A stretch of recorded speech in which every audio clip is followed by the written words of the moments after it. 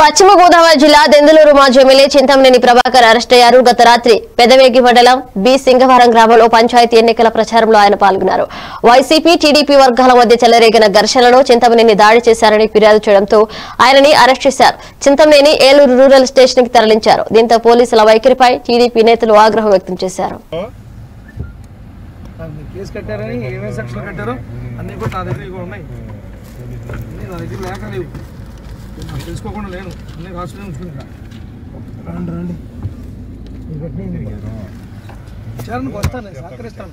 అసలు లేకోకుండా నేను కేసు కట్టడం అంటే ఎంతకంటే ఏమైనా ఉంటుందో తమరు చెప్పండి. నేను ఏం చేశానన్నా మొన్న నేను? వీడియో. తీరా వీడియో తీరా?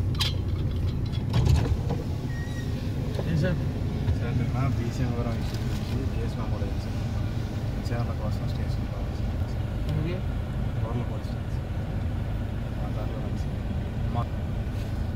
మీ కార్లో మనం అర్థం చేసుకున్నాం నేను టచ్. నేను టచ్ చేయడం కాదు.